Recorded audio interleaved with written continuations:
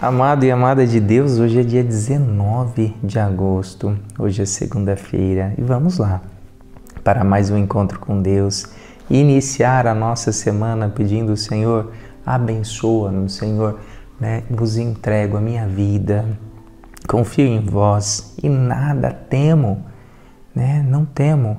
Jesus, eu confio em vós, né? então que eu possa já confiar e entregar meus projetos nas mãos de Deus. O evangelho de hoje de São Mateus, capítulo 19, versículos de 16 a 22. Naquele tempo, alguém, alguém aproximou-se de Jesus e disse: Mestre, o que devo fazer de bom para possuir a vida eterna? Jesus respondeu: Por que tu me perguntas sobre o que é bom? Um só é o bom. Se tu queres entrar na vida, observa os mandamentos. O homem perguntou: Quais mandamentos? Jesus respondeu: Não matarás, não cometerás adultério, não roubarás, não levantarás falso testemunho, honra teu pai e tua mãe, ama teu próximo como a ti mesmo. O jovem disse a Jesus: Tenho observado todas essas coisas. O que ainda me falta? Jesus respondeu: Se tu queres ser perfeito, vai, vende tudo o que tens, dá o dinheiro aos pobres e terás um tesouro no céu. Depois vem e segue-me. Quando ouviu isso, o jovem foi embora cheio de tristeza, porque era muito rico. Palavra da salvação, glória a vós, Senhor. Amados e amadas de Deus, essa passagem mexe muito comigo, né? Mexe muito comigo, porque eu acho que ela, ela tem tanta coisa para nos ensinar. A primeira coisa é porque alguém se aproxima de Jesus preocupado com a vida eterna. E aí, para mim, já acho importante, porque às vezes a gente só está preocupado com a vida terrena. Né? Eu só estou preocupado em pagar minhas contas, eu só estou preocupado né, ali se eu vou ganhar o dinheiro no final do mês, se eu vou ter saúde. Se... É a preocupação terrena. Ele estava preocupado com a vida eterna, então já vê que esse homem era diferente. E aí Jesus fala: olha, ué, se você quer viver a vida eterna, vive os mandamentos. Ele pergunta quais mandamentos? E Jesus cita ali os mandamentos dos dez mandamentos, que ele já conhecia, né? E aí então Jesus está dizendo: olha, caminho para o céu, vivência dos mandamentos. Você sabe todos os mandamentos? Aí já está o primeiro ponto: caminho para o céu, vivência dos mandamentos.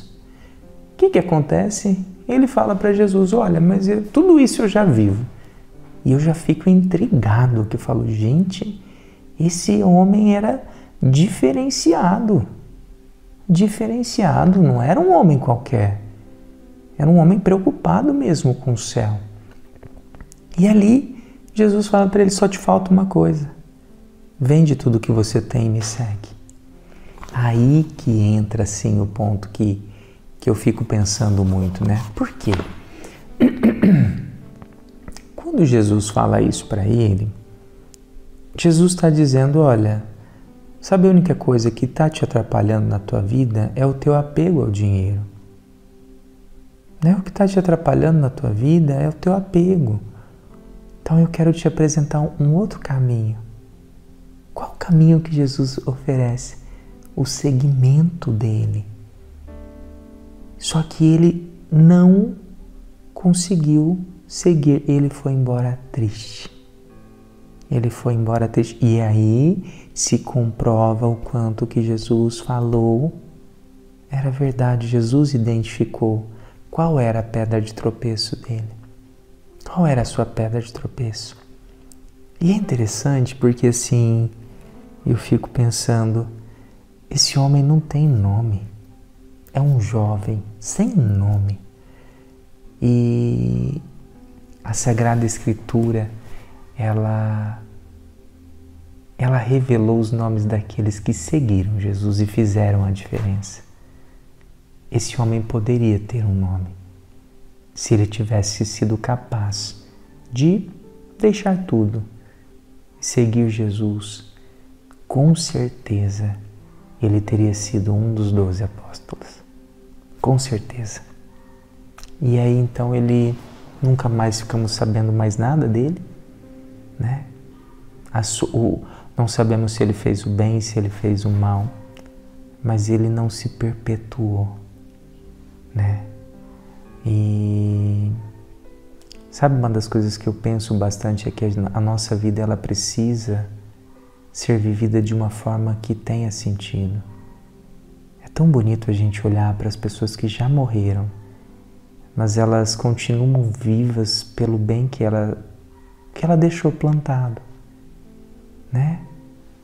Esse homem, ele não se eternizou, assim como os apóstolos, assim como tantos outros santos.